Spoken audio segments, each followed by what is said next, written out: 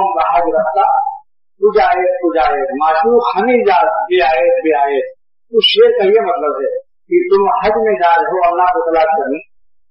और तुम अल्लाह ताला तो यहाँ इसका इसका सही मफहूम यह है कि नौ तारीख को जिलहिजा की नौ तारीख को अरफात के मैदान में हज होता है। अरफात का मैदान काबे शरीफ से, मक्के शरीफ से, दस बारह मील के फासले पर तो क्या काबे शरीर में कोई शख्स उस दिन चला जाए? नौ तारीख को। और कहे था, मैं तो अल्लाह का घर नहीं छोड़ूँगा।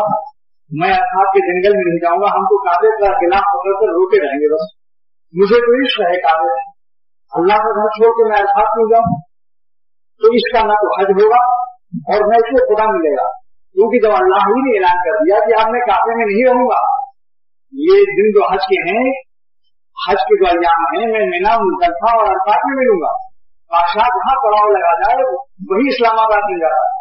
प्रेसिडेंट हाउस दारुल खिलाफा जहाँ शाह लगा, अगर कराची के छठे के पास किसी जंगल में सदर ममलकत खीमा लगा दे तो वही लोगों के काम उसी के साइंस से चल रहे अब वो जाके इस्लामाबाद में चक्कर लगा रहा है प्रेसिडेंट हाउस बोलो उसका काम बनेगा? नहीं बनेगा।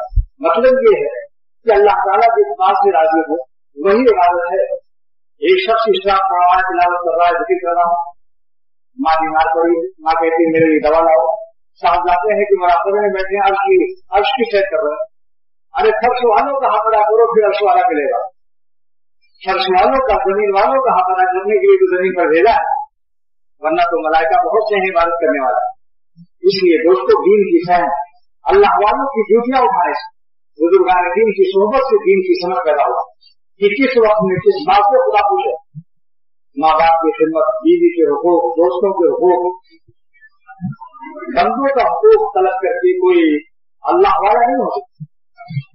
अल्लाह का भी हक अदा करे बंदों का भी हक अदा करे। लेकिन दोनों हक अदा करने की सहन और एतदार पैदा होता है सोबत समझ पैदा होती है इसमें हमें क्या करना चाहिए?